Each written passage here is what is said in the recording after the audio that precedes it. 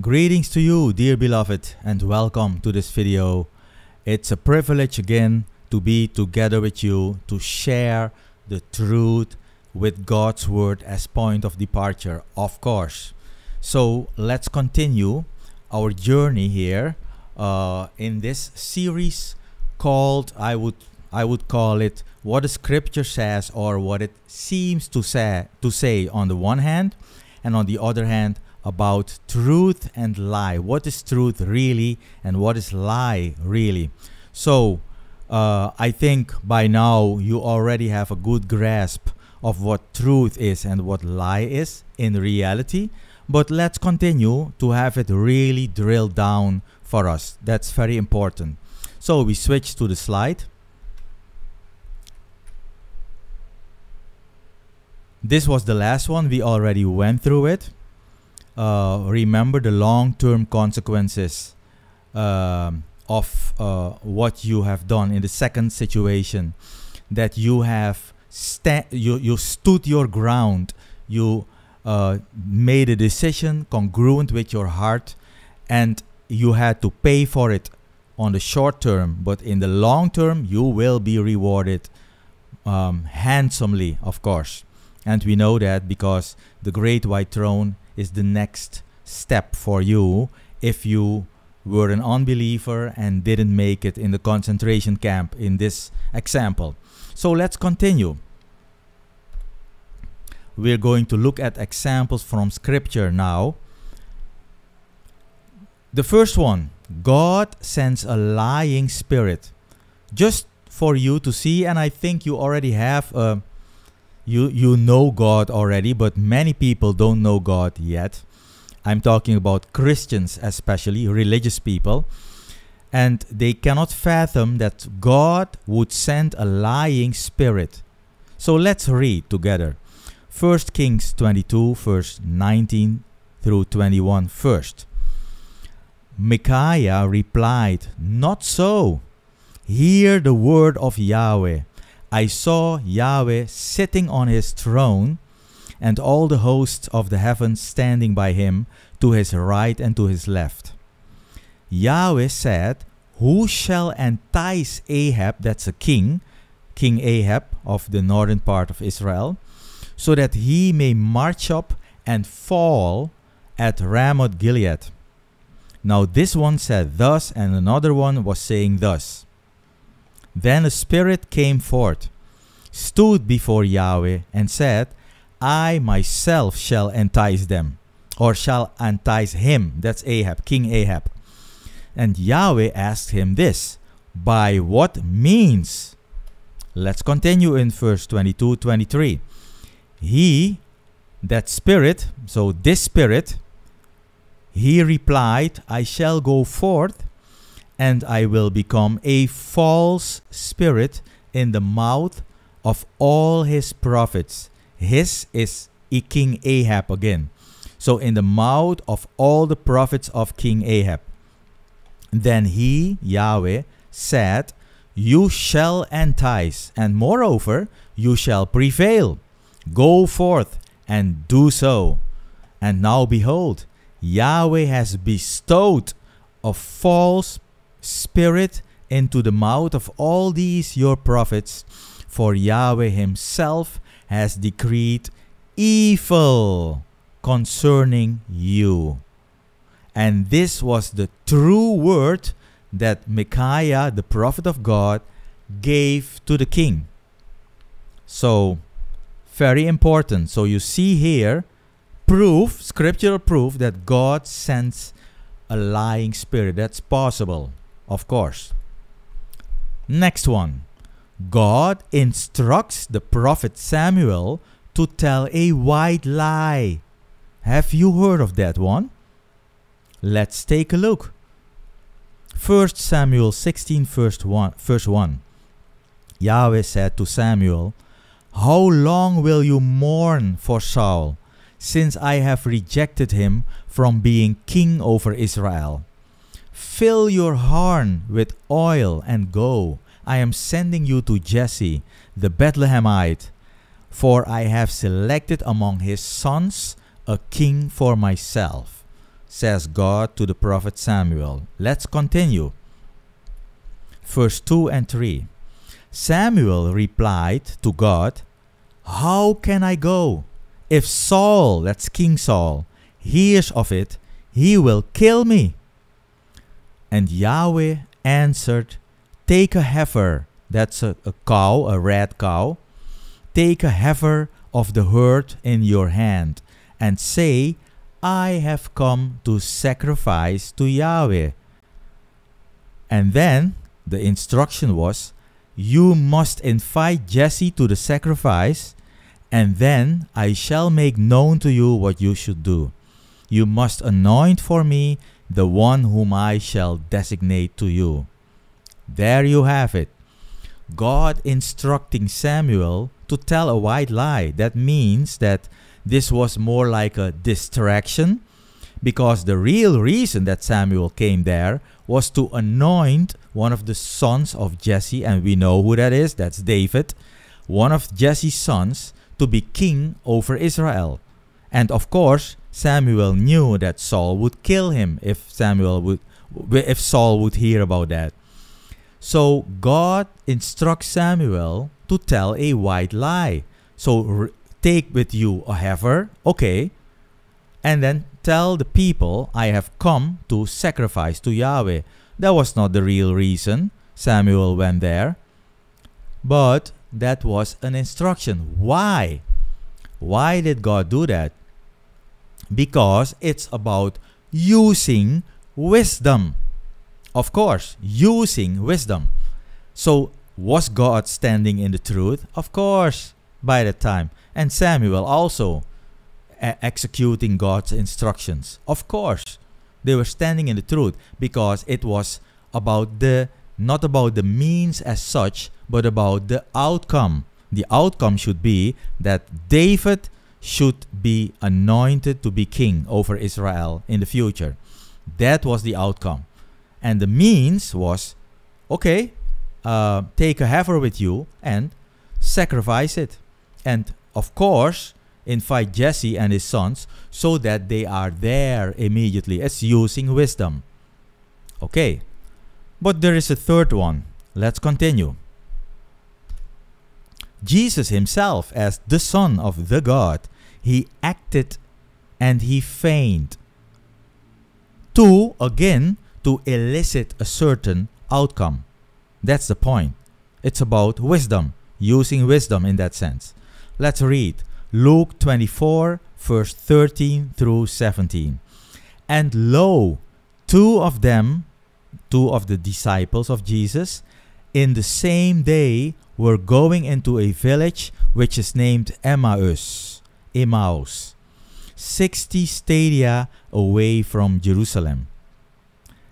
And they conversed with one another concerning all of these things which have befallen and it occurred in their conversation and discussion, Jesus himself also, drawing near, went together with him with them.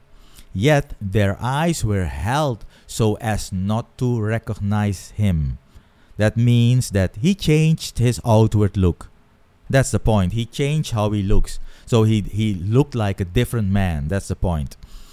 Now he said to them, and remember that he could do that easily because he already had a glorified body. So that's easy. Okay. He said to them, What words are these which you are uh, bandying one with another while walking? Did he hear the word, the words that they were talking? Yes, of course. And still he's asking why? To elicit a reaction. He wanted to make that conversation go because he wanted to go a certain direction within that conversation. Let's continue. Verse 17 to 19. And they stood with a sad countenance. Now answering, the one named Cleopas, Cleopas said to him, uh, You are sojourning alone in Jerusalem and didn't know what things are occurring in her in these days? And he, he, that's Jesus, said to them, Which? Did Jesus know Jesus was the center point, the center focus of attention of what happened that day. And he still asked, which? Of course, because he knew that the man didn't recognize him, he changed himself. So he played along. Is that lying on the surface? Yes, it is. It's doing as if, it's acting. That is lying.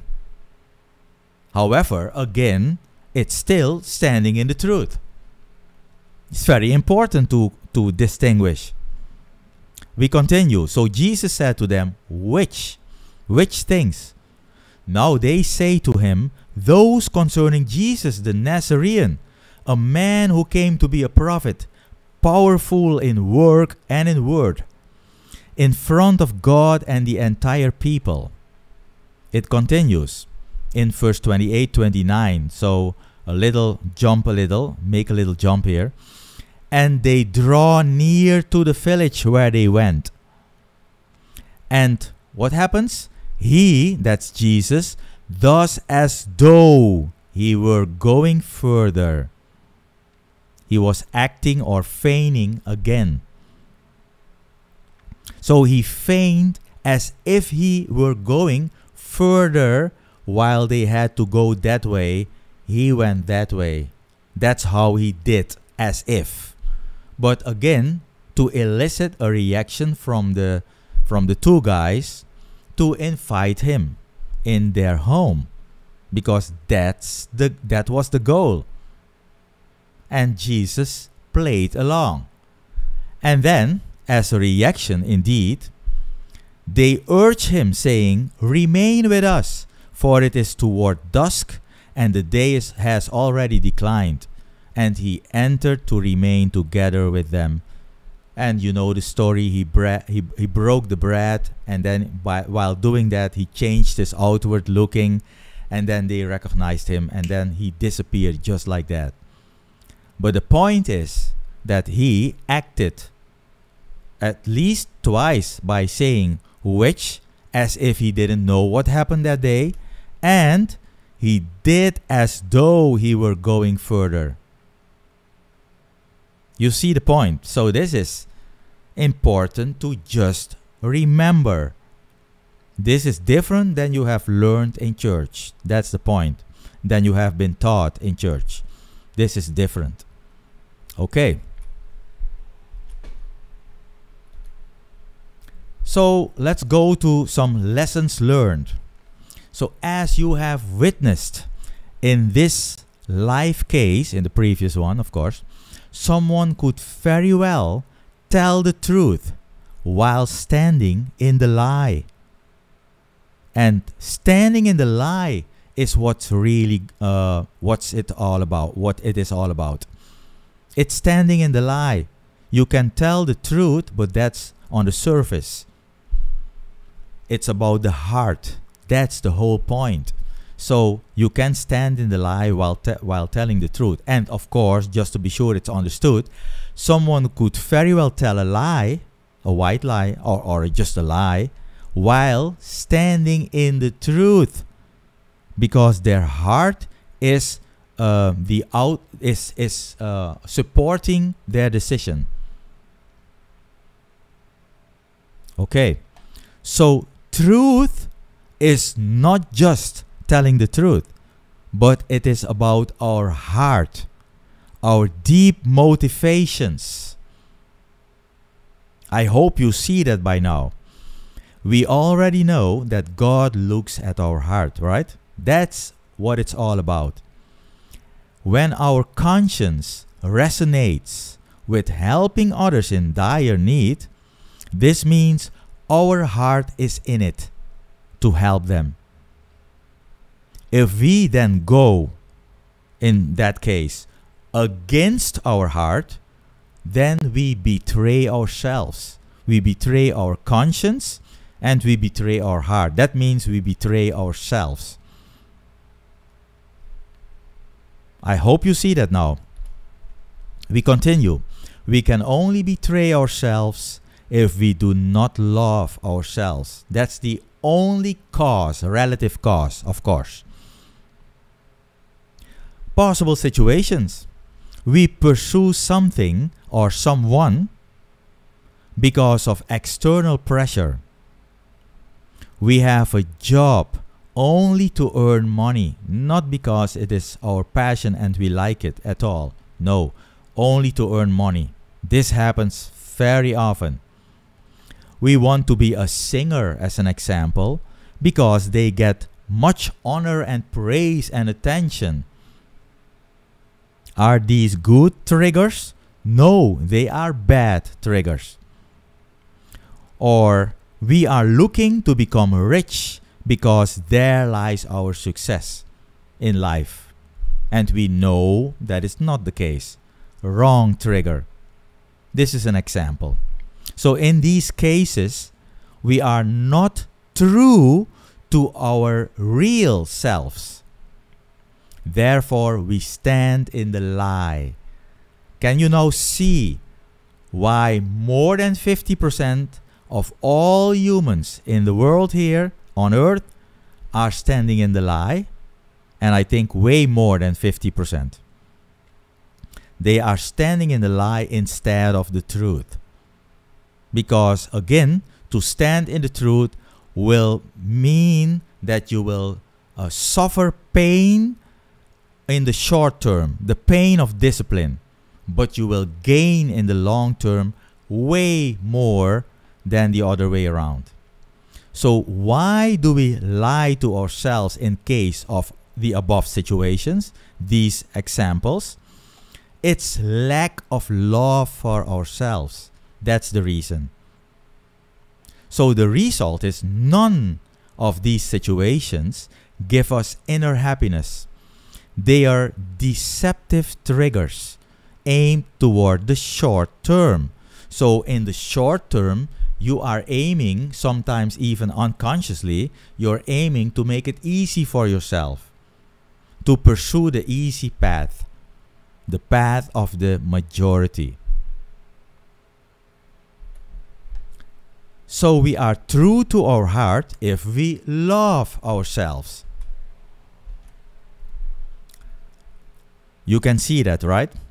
So, possible situations and other examples, we pursue leadership in our life so that we stand for our decisions with our heart. Our heart is in our decisions.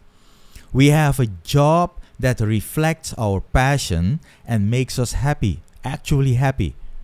We aim to become an entrepreneur or an entrepreneur by building and doing what we always loved in life.